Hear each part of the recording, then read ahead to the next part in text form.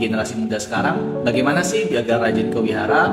Apakah butuh ada motivasi tambahan atau iming-iming atau hadiah?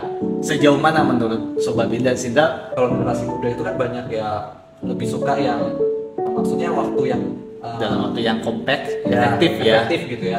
Dan gak mau ribet lah istilahnya Ya. muda nah justru puja bakti itu adalah jawabannya yang tidak membuat ribet satu hari aja itu karena baiknya banyak Lengkap ya, lengkap. paket satu paket udah dilakukan dalam satu hari dan itu satu segala minggu cuma satu kali iya. Kalau Billy sendiri? Kalau saya, kalau dari awal banget nih kok.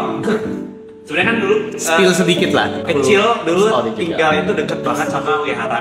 oh Wihara kayak tetangga wihara itu cuma tinggal jalan kaki aja bentar nyampe. Jadi kan ada dulu ada Pokemon, kan ada Doraemon, Doraemon. Oh, ya, ada Doraemon, Kamen Rider.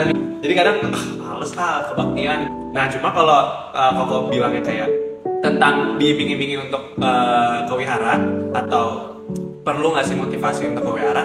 Jujur kan dalam melakukan segala sesuatu ini menurut aku ya Allah kan pasti ada motivasinya dan motivasi itu bisa berupa banyak bentuk. Contoh mungkin Citra yang tadinya awalnya karena buat tanda tangan, jadi berubah motivasinya untuk uh, aktif di wihara karena ingin mendapatkan soft skill, belajar berlatih. Nah, saya pun begitu. Awalnya uh, mungkin uh, beli bisa jajan, beli makan pentol dan lain-lain. Oh, Tapi makin naik, makin ini juga sempet ngalamin kayak sudah tanda tangan sampai akhirnya juga ikut kegiatan DIVA itu terjerumus lah saya. terjerumus istilahnya